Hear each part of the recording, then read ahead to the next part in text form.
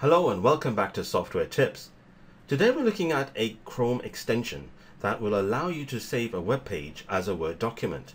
Now in the past I would have had to save the web page as an HTML document and then open it in, in Word and then save it as a Word document. But this gets past all of that and does it in a fraction of the time. So let me show you where I found this. So if you go to your Google browser and go to the X, the web store for Chrome, type that in. There we go. And to search for this extension, it's you can type in something like web to word. And it's the first one at the top.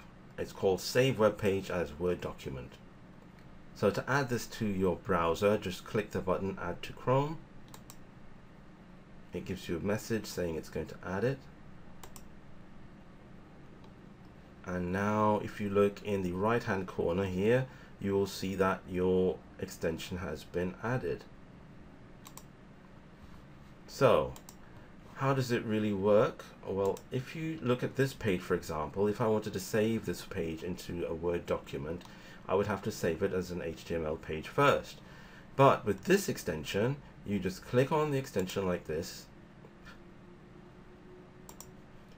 Click on the extension like this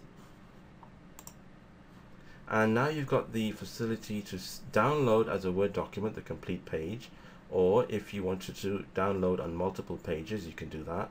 But we're going to do it just the complete page in this instance.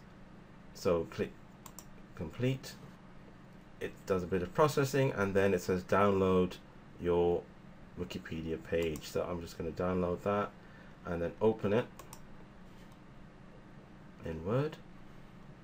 Click edit and now we have the full web page editable in Word as you can see here. Just want to have a one page view a bit bigger.